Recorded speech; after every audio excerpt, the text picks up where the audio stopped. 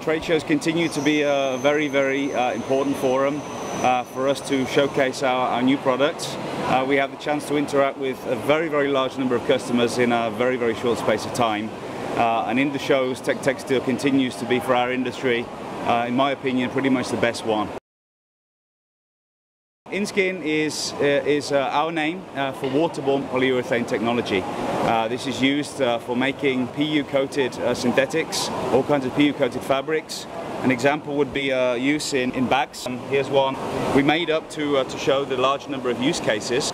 another example would be, would be garment material, very, very soft garment material.